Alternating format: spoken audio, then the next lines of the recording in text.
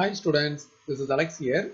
In this video, we are going to discuss how to solve the integral 1 by px plus q into root of ax square plus bx plus c dx. So here we have two terms in the denominator. One is px plus q which is linear term and another one is quadratic which is inside the square root that is ax square plus bx plus c.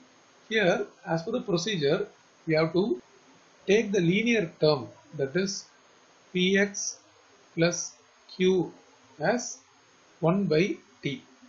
Then we have to differentiate this. Differentiation will be p into dx and q is constant and this is minus 1 by t square dt. So from this we get dx. So dx and this px plus q equal to 1 by t everything we have to substitute in the question to get the term everything in terms of t. Even here we need x. So from this if I rearrange we can get px equal to 1 by t minus q and from this x is 1 by p into 1 by t minus q. So everything we have to substitute in the question to get in terms of t. So as a part of step 2 substitute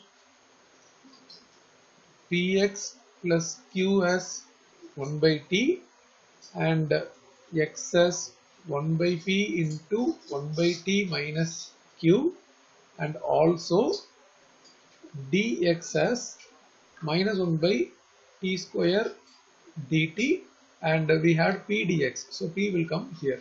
So all these things if I substitute I get everything in terms of t. And after that we have to integrate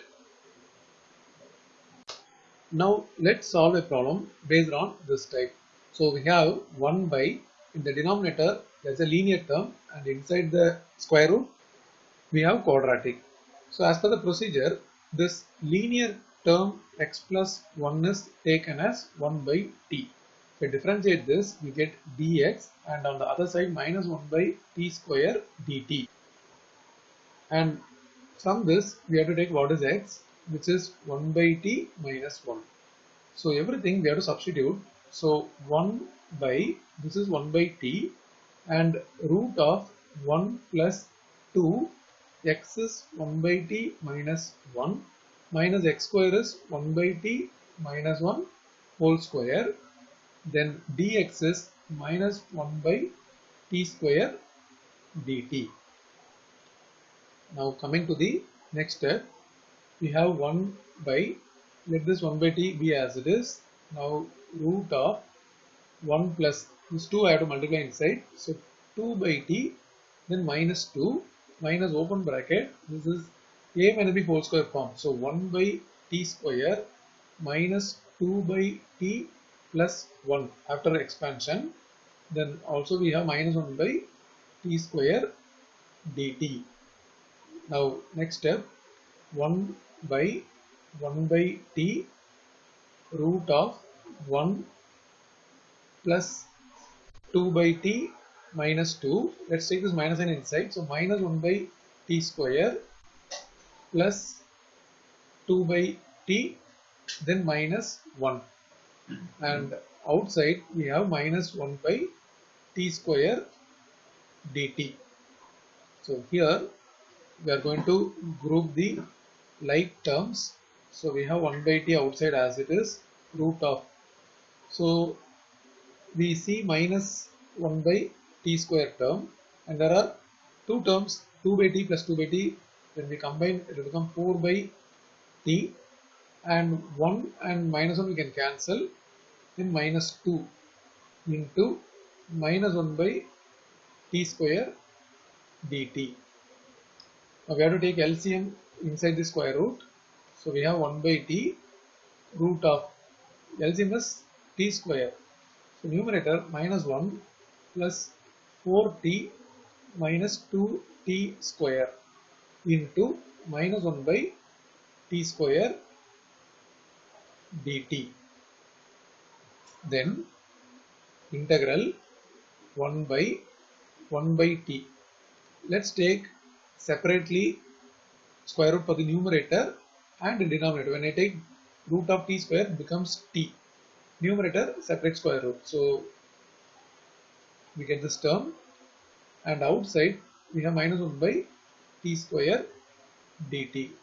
The next step we can carry this t to the numerator the same way this also to the numerator. So it becomes t square.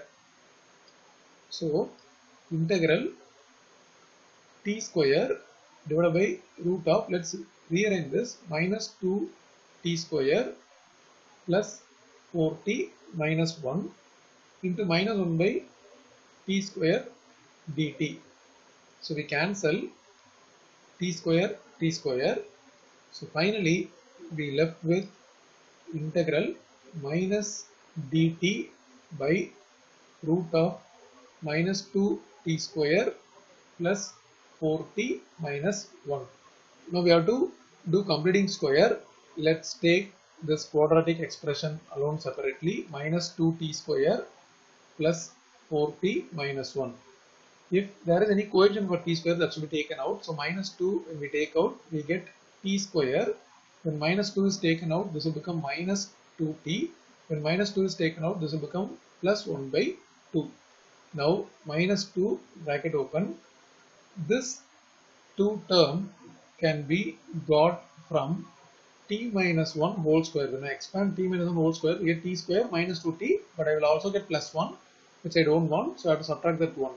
So I take minus 1, the last term is plus half.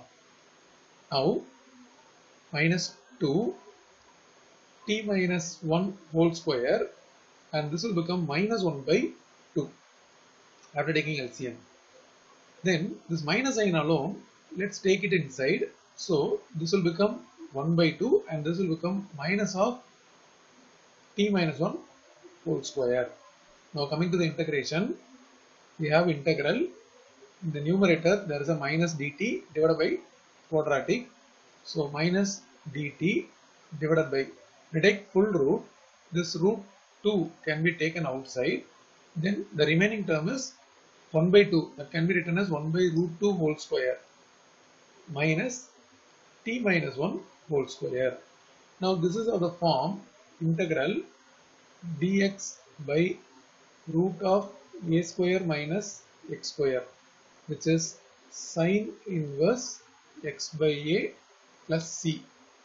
So here we have minus 1 by root 2 then sine inverse instead of x we have t minus 1 divided by instead of a we have 1 by 2 plus c.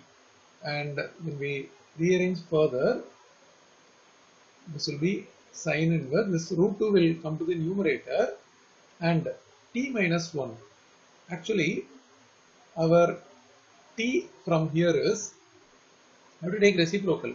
So from this if I take reciprocal t equal to 1 by x plus 1 so I have to substitute 1 by x plus 1 here 1 by x plus 1 then we have minus 1 this is already 1 by root 2 I have written it as into root 2 plus c. So minus 1 by root 2 sine inverse root 2 when we take LCM x plus 1 then 1 minus x minus 1 then here we can cancel 1 and minus 1 even this minus sign can be taken outside. So already there is a minus sign outside. So this will become 1 by root 2 sine inverse root 2 by x plus 1 plus c. And we have one x also in the numerator